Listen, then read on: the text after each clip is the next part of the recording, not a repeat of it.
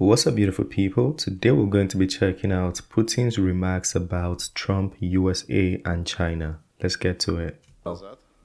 When we asked you whether you had decided to participate in the presidential elections, you said that you had not yet. Now there are six months left before the elections. Are you still wondering? According to the law, our parliament must make a decision at the end of the year. When the decision is made, when the elections are announced, the date is named.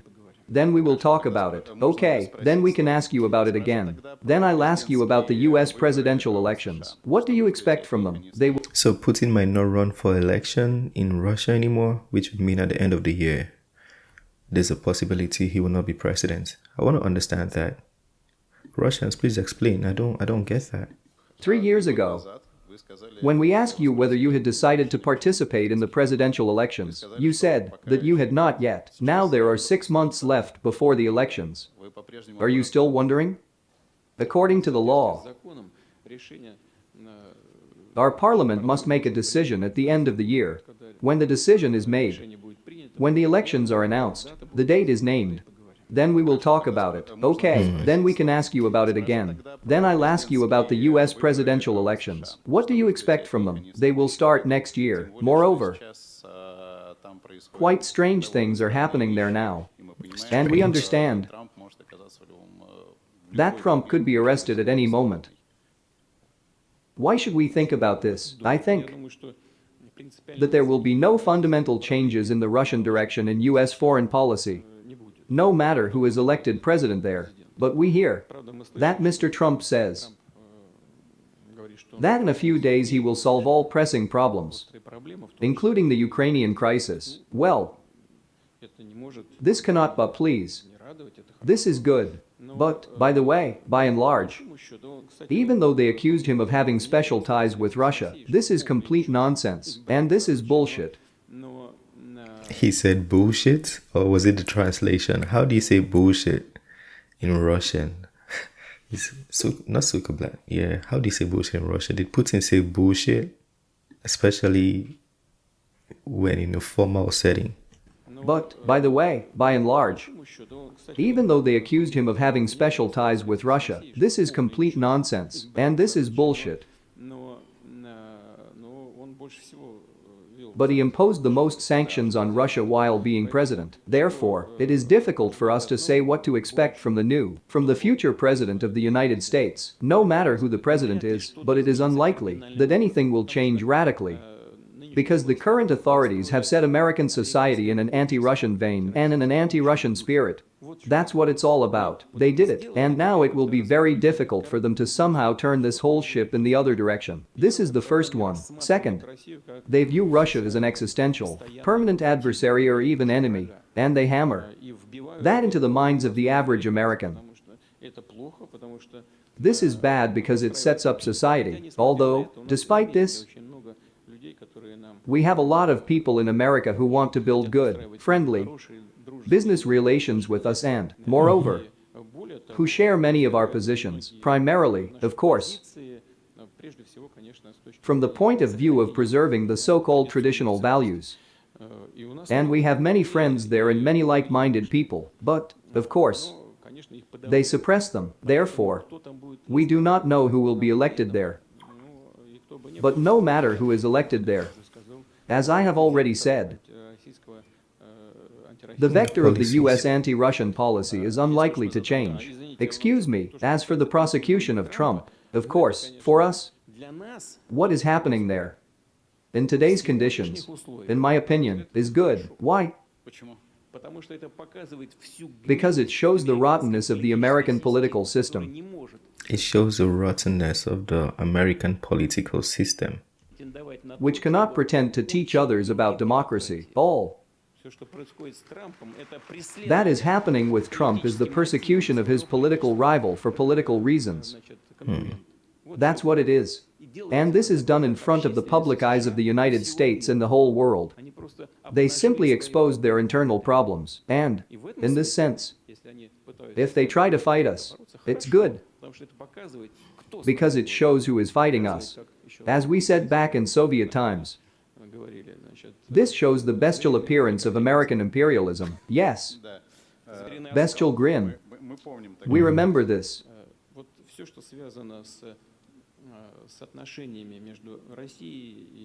Everything related to relations between Russia and the West is related to the geopolitical interests of Western countries and attacks in all directions, including in the spiritual sphere, are a continuation of this geopolitical confrontation.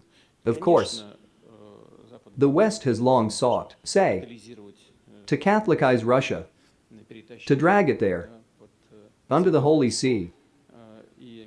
And when they failed,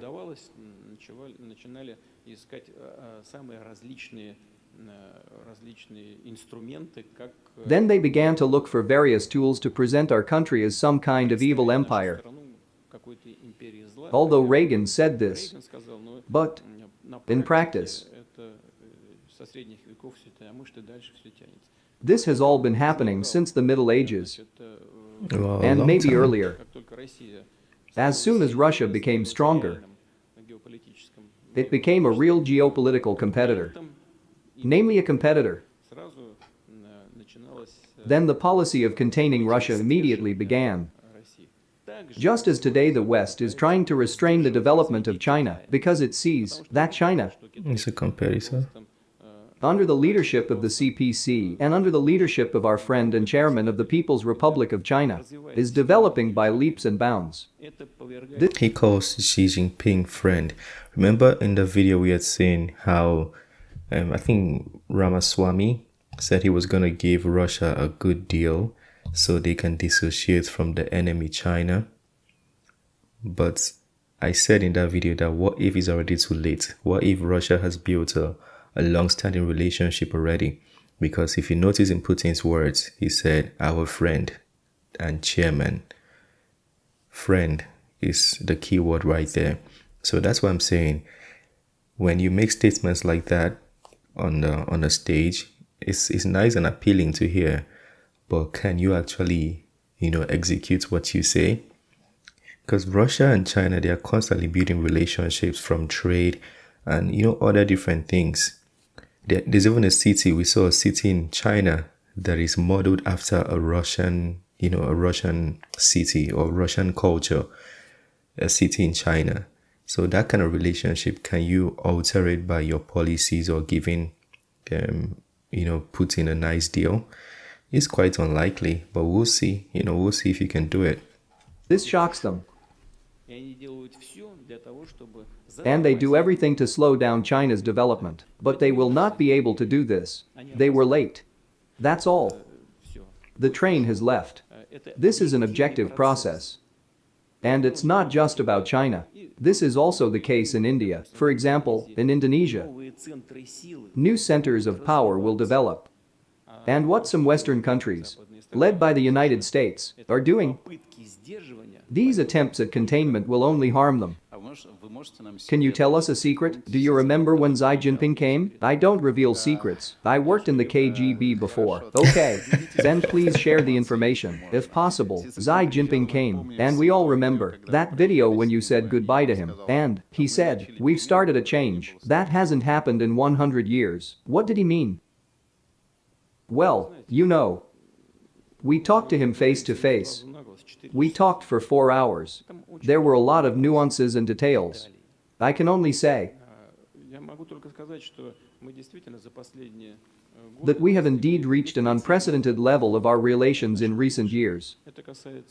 This applies to all areas of our interaction. We met with the Chinese delegation today, and, according to Chinese statistics, the volume of trade turnover is even greater than according to our statistics. We have every chance. I don't know whether it will work out or not. There are all sorts of conditions, both price and currency. We need to see how this will influence. But maybe even this year we will reach a trade turnover of 200 billions of dollars. Even specific numbers are not important. The important thing is that we are actively developing our cooperation.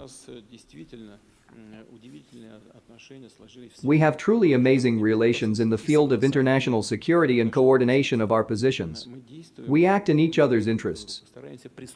We try to listen to each other in many important areas.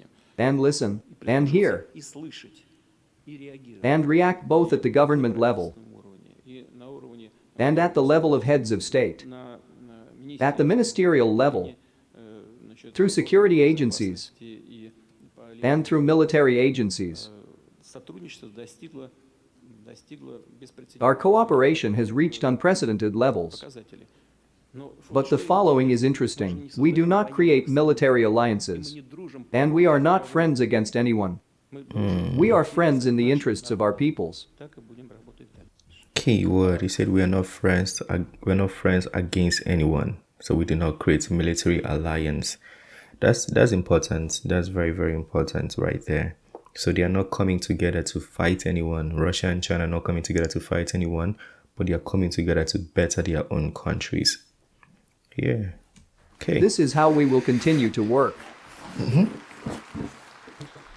This all sounds great about relations with China, but there are also some problems. I talked to businessmen.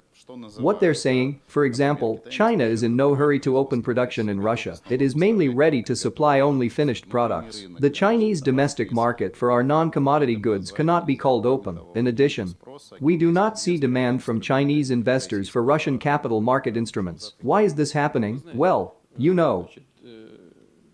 China is an independent country and, first of all, China proceeds from its own interests. And we also do the same in our own interests. It is wrong to say that we do not respond to each other's requests. Now,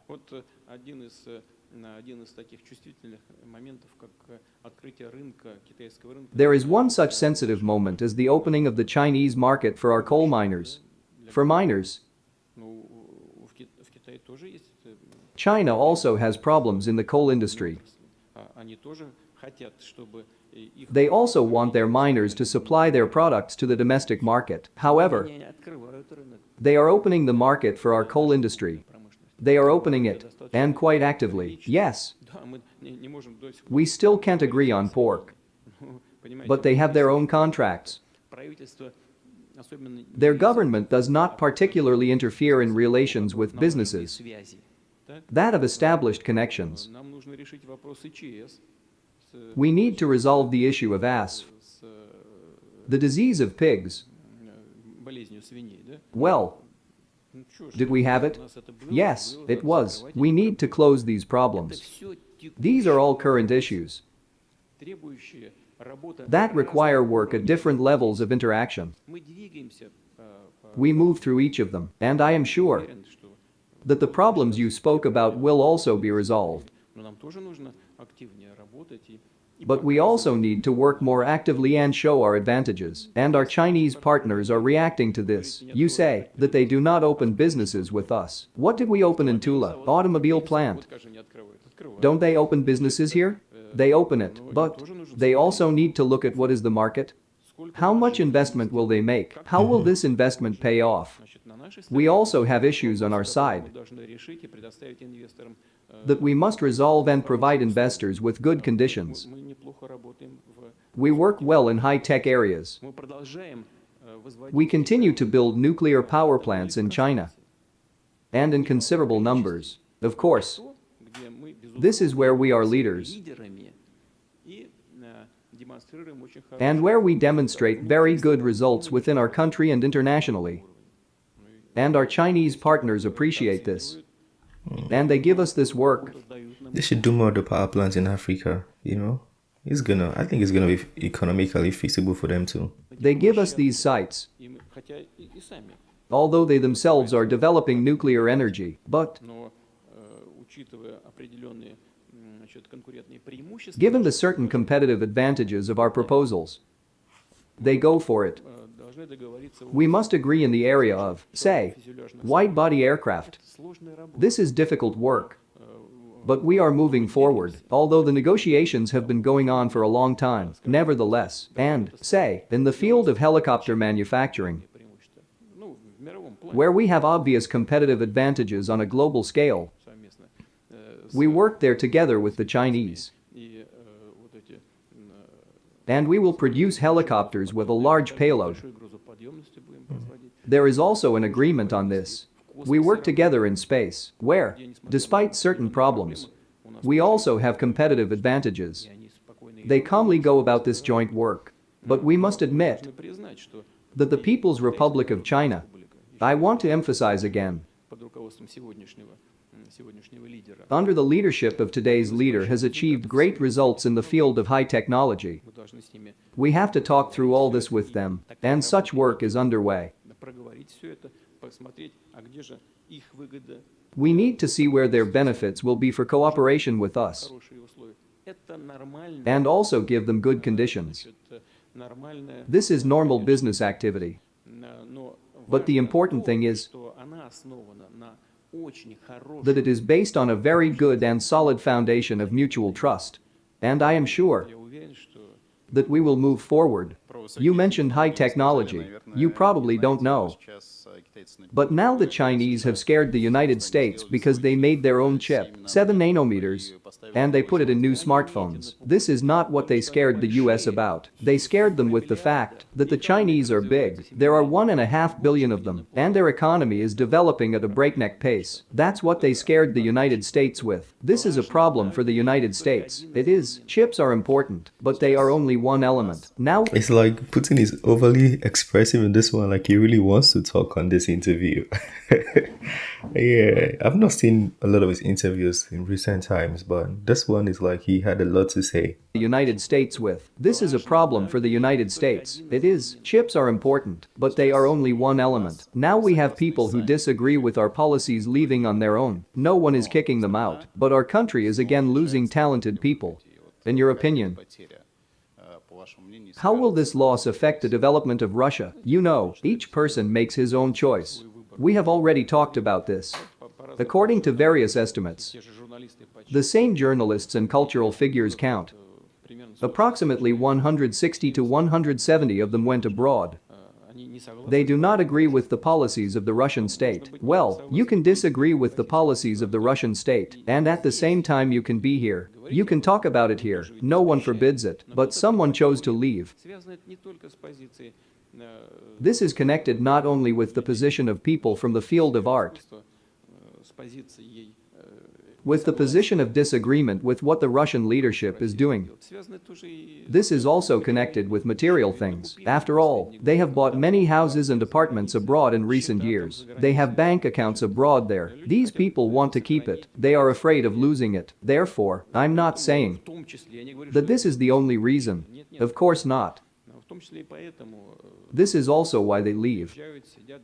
To preserve it all. Those countries demand from them, this is also well known, that they make statements, they demand, that they criticize, they demand, that they reprove. So they criticize, they denounce, but, I repeat,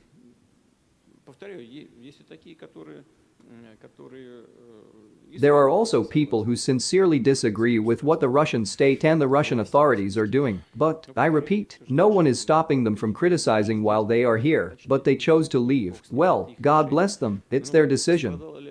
But has Russian culture suffered from this? Well, probably. If a talented person left who could have done something here, then we probably lost something. But, on the other hand, I'll honestly say, maybe it's better to let him do something there, abroad, whose interests he wants to serve. Then here he will dribble on the brains of millions of our citizens and promote some unconventional values. You you understand, therefore, this is a difficult question, but, ultimately, a person is the arbiter of his own destiny. If someone has decided to leave, well, okay, everything works for us. Thank God, theaters, concert halls, exhibition venues. Many artists go to the zone of a special military operation. They support our hero guys there. On the front line.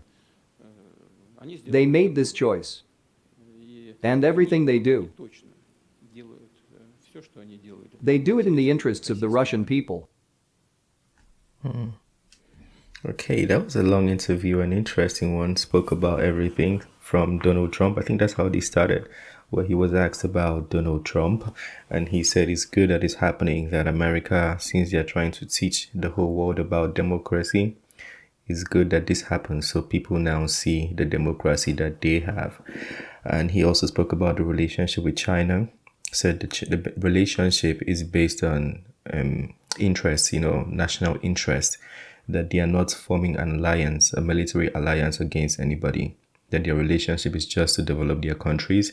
And, you know, he emphasized on the plans they're building in Russia and also the, sorry, they're building in China and also the business China is handling with them, like the space technology, the helicopter, they have an advantage in that. And we've seen the advantage they have in, you know, building helicopters they've been supplying Burkina Faso and different African countries.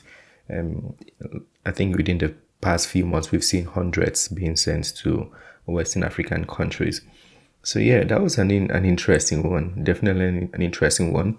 There've been speculations. I'm sure that's why they asked about people leaving, like journalists, because there have been speculations that Russia or the Russian government silences journalists. I don't know how true that is. So the fact that he said they could have criticized the government in Russia and nobody would stop them, um, that's let me know what you think about that. If you disagree or you agree with that, because a lot of people, I mean, I've been hearing it on TikTok and the media. I don't know how true. I'm not saying it is true. I don't know, but people say you cannot have some opinion about Russia or the government that they'll silence you. Let me know. And he said it's better that they go so they don't have unconventional um, messages in their in their media. Let me know what you think about that. Share your thoughts. It was an interesting one. If there's anything you want to add, correct, or you know, critique in the video, please feel free to do so. That being said, is the end of this video. Smash the like button, subscribe, and I'll see you on the next one. Peace. Made this bet on my own, bet on my own.